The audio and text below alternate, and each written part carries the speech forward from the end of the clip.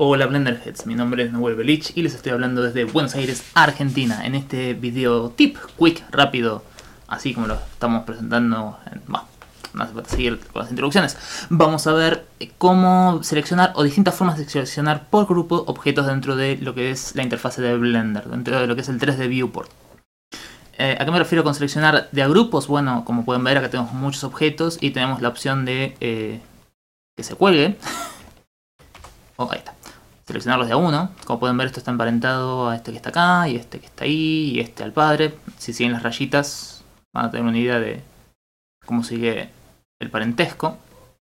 Esto es parte del ejemplo, no, es realmente importante. Podemos tocar la B larga, hacer un cuadro de selección. Podemos tocar la C y pintar la selección. Podemos tocar la A y seleccionar todo. O en caso de que tenemos algo seleccionado, presionamos la A y primero deselecciona y después selecciona todo. Es una especie de toggle que tiene. Pero voy rápido porque eso no es lo importante. Lo importante que quiero mostrar es este menú. Selected Grouped, que lo van a encontrar dentro de Selected y, si no me equivoco, Grouped. Y acá tenemos muchas opciones que no son las únicas que vamos a ver. Tenemos Children, Immediate Children, ta ta ta. Vamos a empezar con las primeras. Children, hijos. Como pueden ver, este es mi padre. Este es el objeto principal que está emparentando toda la, jerarquía. Y Children selecciona todos los hijos de ese padre. Como muevo ahí, muevo solamente los hijos. El padre de esto se deselecciona. Shift G, Children, selecciona los Children. Y si presionan Extended, también eh, les selecciona el padre. Este menú que abrí, ¿qué, qué es lo que qué es lo que es? ¿Cómo lo abrí? Uf, ratas, qué, cosa rara. Eh, bueno, ese es el menú de operador, es el último operador utilizado y se abre, se abre con la tecla F6. Si no, lo, si no les gusta verlo flotante ahí en el mundo exterior, lo que pueden hacer es abrir el panel lateral, el izquierdo, el tool shelf, desde ese simbolito de más que tiene ahí arriba, que es como una pestañita, o apretando la tecla T. Y en la parte de abajo, que tal vez lo tengan así minimizado, también otra pestañita con el más ahí, tienen lo que es el mismo menú de operadores, pero fijo en la pantalla. Así que vamos a dejarlo ahí.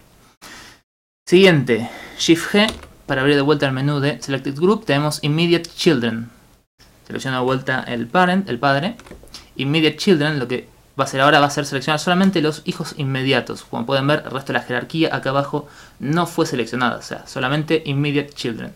No, no toda la jerarquía como Children, sino los que están inmediatamente conectados. Nuevamente, Extend me selecciona también el padre. Extend instead of selecting everything first, selecciona también lo que está.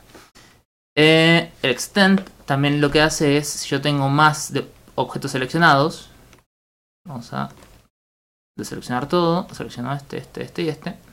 Voy al padre, el padre, eh, esta función selected group, grouped como muchas opciones dentro de las, de los operadores de Blender, va a trabajar directamente sobre el objeto activo y el objeto activo es el que tiene el color en este caso más brillante. Eh, es configurable eso, pero por default es el que tiene el naranja más claro con respecto a las demás selecciones. Entonces yo tengo todos, varias cosas seleccionadas, Shift, eh, Shift G, Select Immediate Children y se selecciona el resto. Toco Extend y me retiene la selección anterior más los children que acabo de seleccionar. Eso es lo que hace extend, guarda la selección anterior. En caso de tener solamente el padre, retiene el padre, si no, retiene todo lo que seleccionamos. Siguiente, parent. Yo tengo un hijo. Parent me selecciona el padre. Yo tengo un hijo. Parent, el padre de ese. Yo tengo un hijo. Parent, el padre de ese. No es complicado. Siblings, relativos selecciona todos los objetos que están emparentados al mismo padre. Yo selecciono este de acá. Siblings, tuk. Creo que sería pariente, si no yo. Parientes en castellano sería como el, hermano, digamos. No, no parimos ni, ni cosas, sino hermanos. Eh, siblings, la traducción literal no es hermano, pero pueden imaginárselo de esa manera. El siguiente, por tipo. Yo selecciono un plano por tipo y me selecciona todo excepto esto que está acá y esto que está acá. ¿Por qué? Tipo selecciona por tipo de objeto. Y estos objetos, estos planitos son geometrías. Si yo pongo un mono, que también es geometría,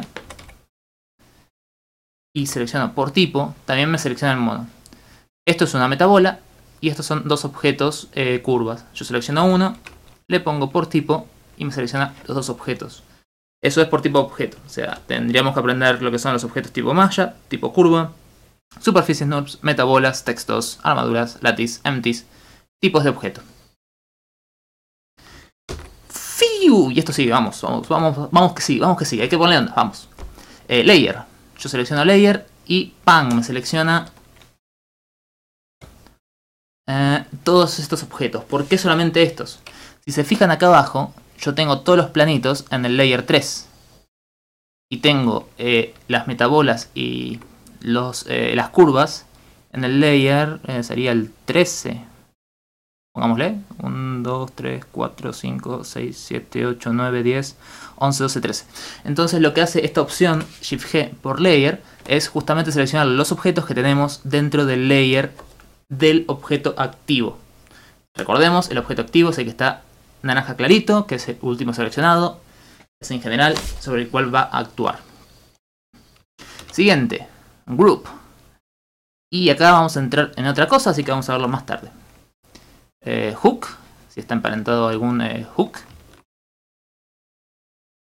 Los hooks son estos, ahora si no me equivoco. Uh, ahí. Hook to object.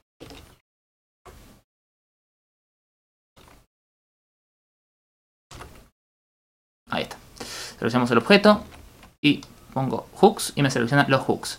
Hooks es un, se usa como modificador, modificador lee la posición del objeto y es para emparentar, emparentar no, para mover vértices con algún objeto externo.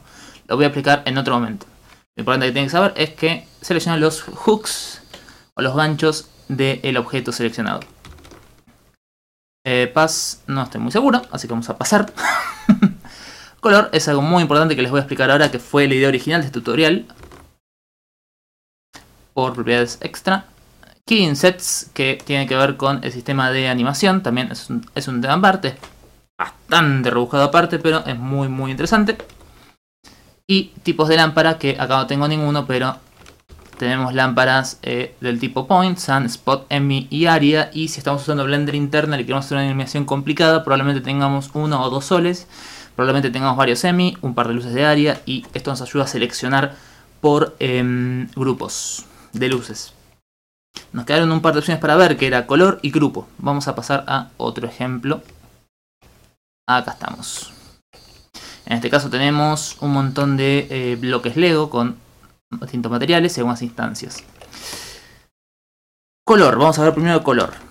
Si yo selecciono por color, me selecciona todo. ¿Tiene que ver con el color de material? No. ¿Tiene que ver con el color de, del, del guay alrededor? Tampoco. Tiene que ver con este color. Color de objeto. Que está ahí y creo que casi muy poca gente lo usa. De hecho, todas las personas que vi usar Blender, ninguno lo usa. Así que es como una opción que está ahí y alguien dice, ¿para qué lo puedo llegar a usar? Pero realmente es muy muy útil. Todos los objetos Vamos a agregar también una curva. ¿a dónde vas? Eh, no, no, no. Se quedó usted, señor, ahí. Mira si me vas a... te vas a mover del lugar donde yo, yo te No, no me vas a hablar. Em, no tengo que hacer tutoriales a esta hora. Inclusive las curvas tienen propiedades de color de objeto. Que en realidad, eh, hoy por hoy en Blender la verdad que no cambia nada. Hay unas versiones escritas donde experimentales donde se puede usar esto como color de, alambre y demás, pero nunca llegó a usarse nada. Sin embargo, es muy útil para esto. Yo voy a seleccionar, por ejemplo, todos estos cupilios, cupilios de aquí.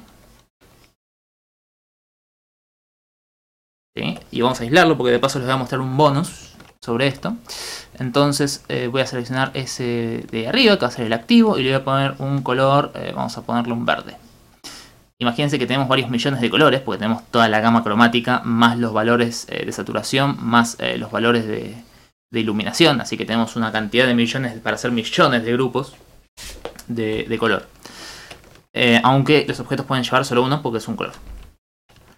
Entonces, bueno, dijimos que le pusimos un color, seleccionamos a S, que, se, que le cambiamos el color, Shift G para los menús de Selected Group y color. Y no pasa absolutamente nada. ¿Por qué? Nosotros seleccionamos todos los objetos y le cambiamos el color. Pero le cambiamos el color al objeto activo solamente, o le cambiamos el color a todos. Lo cual tendríamos que ir uno por uno, copiando, pegando color. Y lo cual sería básicamente imposible de hacer porque el chiste de esto es optimizar, no es hacer el trabajo más pesado.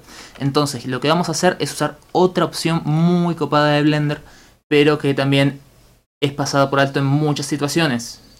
Que es, y sobre la cual ya hice un tutorial, Copy to Selected.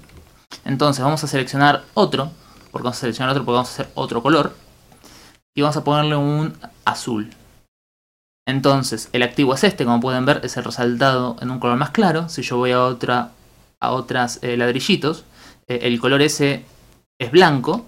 Entonces vuelvo a este, al activo, voy al color y hago clic derecho y busco una opción Copy to Selected.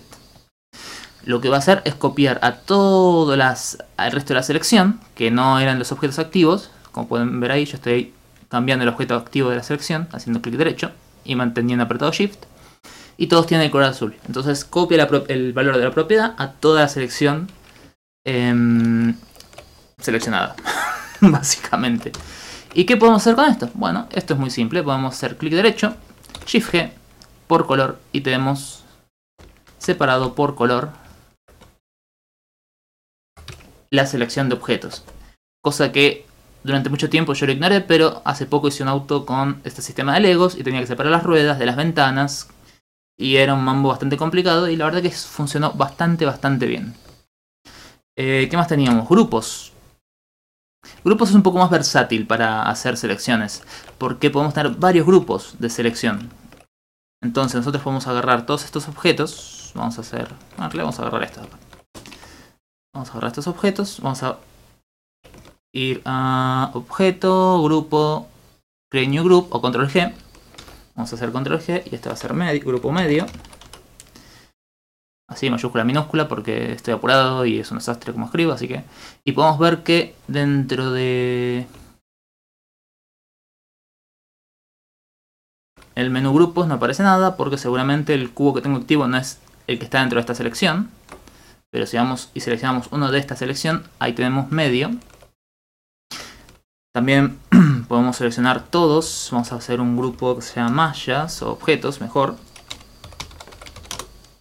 Ahí está. Después seleccionamos eh, este, ahí esa esferita y estos cuatro del medio. Y ponemos otro grupo que sea, no sé, desdichados. Dichados. Por poner un nombre. Entonces tenemos objetos que tienen varios eh, grupos diferentes. Entonces, ¿qué podemos hacer con esto? Podemos apretar Shift G por grupo y no seleccionar los objetos que están dentro de ese grupo. Ahora, el objeto que yo tenía activo tenía solamente un grupo, entonces selecciono solamente, selecciono directamente todo ese grupo. Ahora, si yo selecciono un objeto que tenga varios grupos, como por ejemplo este, y voy Shift G y selecciono grupos, me va a dar la opción de elegir qué grupo quiero elegir. Entonces yo puedo elegir el que tenía antes, o puedo elegir por grupo, medio y tener este. Entonces podemos usar esto Shift G de vuelta para grupo desdichados, seleccionar o administrar las selecciones. A veces es bueno, a veces es malo, eh, porque, bueno, malo no, es incómodo porque te pone este reborde verde sobre los objetos y es como que te cambia el color del objeto al verde que está agrupado. Pero es otro sistema más de selección. Finalmente tenemos uno que tampoco se usa demasiado porque no se ve, se ve la función para, para otras cosas, pero podemos eh, seleccionar por data. Eh, esos objetos son, tienen información, tienen, tienen data, entonces si yo selecciono uno y edito, podemos ver que se modifican todos. Eso es porque están instanciados, comparten la misma data, la misma información de geometría. Todos estos objetos comparten lo mismo. También comparten el mismo material. Lo que significa que si yo cambio el color del material, cambia el color de todos. Justamente porque la data, la información, es la misma. Entonces, ¿podemos usar esto para seleccionar? Sí.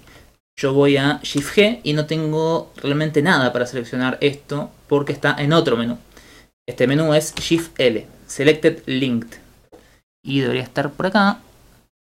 Uh, constraint, quick, send, select, linked. Como pueden ver es un menú completamente distinto porque hace referencia no a propiedades de grupos o de, agrupas, o, de agrupaciones o formas de agrupar, sino a propiedades linkeadas, a propiedades conectadas entre la información dentro de los objetos. Es otra cosa completamente distinta. En este grupo tenemos eh, Object Data, que vendría a ser información de geometría o de curvas, la información digamos que lee el objeto para mostrarnos un una, una forma o un volumen.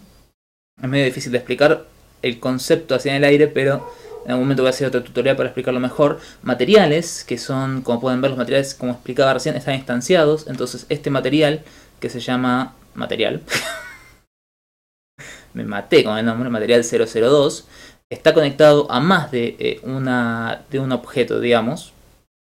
Está conectado en este caso a tres bloques de información de geometría, que son el del cubito, el de la esfera y eh, el del toroide pero en este caso la información de geometría del cubito está conectado a muchos otros objetos. Es una cosa media interesante de explicar, pero eh, ya en un momento lo voy a explicar mejor. Por ahí con la 249 que tenía el mapa, el Loops Editor. Eh, texturas, que es básicamente lo mismo, pero en otro nivel de, jerarquía. Duple Groups, otro elemento más muy interesante. Partículas, librerías y librerías eh, linkeadas Object Data. Entonces, si yo quisiera, por ejemplo, seleccionar todas las instancias de este objeto que yo tengo acá, porque vemos que son todos iguales, pero no todos son instancias del mismo. Yo, todos estos objetos originalmente eran iguales, pero si yo edito este, pueden ver que solamente cambian los grises. Y eso es porque yo separé las instancias en tres objetos distintos. ¿Sí? Una cosa es este de acá, otra cosa es este de acá y otra cosa es este de acá. Tiene sus pros y sus contras hacer eso, todo depende del momento. En este caso lo que les voy a mostrar es que apretando Shift L o Select Linked, yo puedo seleccionar por Object Data y me selecciona las instancias, las instancias, es lo que haríamos con Alt D, si se quiere, eh, de los objetos, o sea, los que comparten la misma información de geometría. Por data, por material. Yo selecciono este y este objeto, todos estos son instanciados, muy lindo, pero podemos ver que estos otros dos objetos no son instanciados, pues son, tienen otra forma. Entonces podemos ir con este Shift L y hacerlo por material y ¡tum! Tenemos seleccionado también toroide y esfera. Después, ¿qué más tenemos? Por texturas, por duplicate groups, que falta explicarlo, y por un par de eh, elementos más que no vale la pena que se los explique ahora porque requiere todo un tutorial para entenderlos pero también son muy muy interesantes. Entonces, bueno. Children, media children, parents, siblings, type, layer, groups, hooks, pases, color. Como pueden ver en este video van a tener que repasarlo porque fui bastante, bastante rápido, pero tienen un montón de formas de seleccionar elementos agrupados y linkeados. ¿sí? Esas opciones pueden encontrarlas dentro de Select, Linked o Grouped. Espero que este tutorial les haya servido. Espero que le puedan encontrar cierta utilidad y nos vemos en la próxima. Adiós.